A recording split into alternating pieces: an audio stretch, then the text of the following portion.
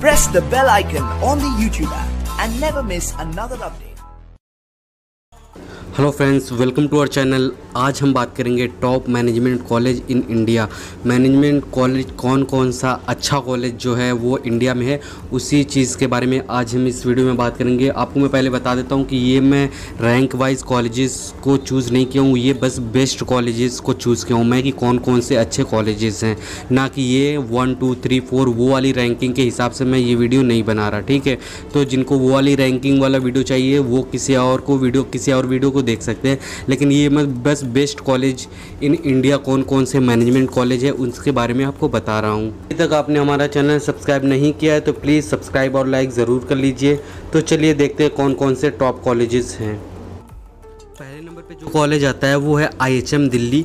दूसरे नंबर पे जो कॉलेज आता है वो है आईएचएम मुंबई, तीसरे नंबर पे जो कॉलेज है वो है V G S H A Manipal, चौथे नंबर पे जो कॉलेज है वो है आपका आई एच एम बेंगलुरु, पाँचवें नंबर पे जो कॉलेज है वो है आई एच एम हैदराबाद, छठे नंबर पे जो कॉलेज है वो है आई एच एम चेन्नई, सातवें नंबर पे जो कॉलेज है वो है आई एच एम कोलकाता, आठवें नंबर पे जो कॉलेज है वो है आई एच एम अहमदाबाद और नौवें नंबर पे जो कॉलेज है वो है आई एच एम औरंगाबाद, जो कि महाराष्ट्र में है, और दसवें नंबर पे जो कॉलेज आता है, वो है आईएचएम लखनऊ, जो यूपी में।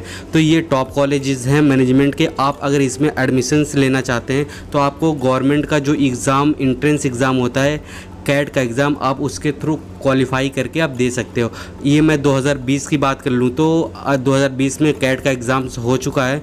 अब अगले साल आपको 2021 में इसके लिए अप्लाई करना पड़ेगा। तो ये रहे टॉप टॉप कॉलेजेस अगर आपको इसमें एडमिशन्स लेने तो बहुत ज़्यादा मेहनत करनी पड़ेगी और बहुत ही अच्छे नंबर लाने पड़ेंगे। और अभी अगर आप कैट का एग्ज़ाम 2020 में देना चाहते हो तो वो एग्ज़ाम हो चुका है। अब आपको 2021 में मौका मिलेगा तो आप 2021 में एग्ज़ाम दे सकते हो। और अगर आपको कुछ समझ में नहीं आया हो या कुछ और भी पूछना हो तो इस नंबर लेके आप हमसे कॉल कर सकते हैं। लेकिन प्लीज़ मैं उनसे गुजारिश करूँगा कि जो जिनको ज़रूरत होगी रियल में वही लेकर फ़ोन करेंगे। सब लोग फ़ोन करने लगते हैं तो फिर बाद में बहुत दिक्कत हो जाती है कॉल पिक करने में, बहुत सारे एक साथ कॉल आने लगते हैं। तो प्लीज़ जिनको ज़रूरत होगी वही फ़ोन करेंगे, जिनको कुछ समझ में नहीं आया हो या कुछ पूछना चाहते हो। सभी लोग प्लीज़ कॉल मत कीजिएगा। और अभी तक आपने हमारा चैनल सब्सक्राइब नहीं किया है तो प्लीज़ यार सब्सक्राइब ज़रूर कर दो और ऐसे ही वीडियो देखते रहो, सपोर्ट करते रहो अपने भाई को।